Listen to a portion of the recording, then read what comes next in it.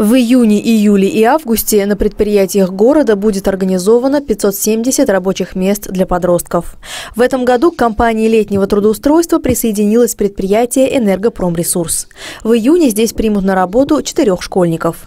Ребята, желающие провести каникулы с пользой и подзаработать в этой и других организациях Заречного, пришли в городской центр занятости населения.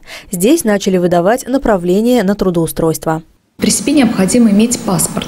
Если есть трудовой опыт, то можно принести с собой трудовую книжку. Также э, при получении направления можно оформить СНИЛС. И при себе необходимо иметь э, расчетный счет, на который будет перечисляться материальная поддержка от Центра занятости. Алина Суркова за направлением пришла вместе с мамой. В июне девушка будет работать на производственном объединении «Старт». Ей предстоит трудиться в заводской типографии. Не дома же сидеть. Все равно куда ты ходишь и как ты развиваешься. Ну, чтобы дети не болтались на улице, в принципе. Я думаю, считаю, что это правильно. И на городе, ну, в предприятии на полстарт помощи большая, я думаю, приносят подростки. И по городу, и озеленение, и уборка, конечно же, территории.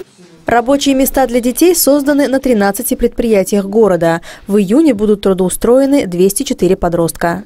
Ксения Тризна, Владимир Полищук, телерадиокомпания «Заречный».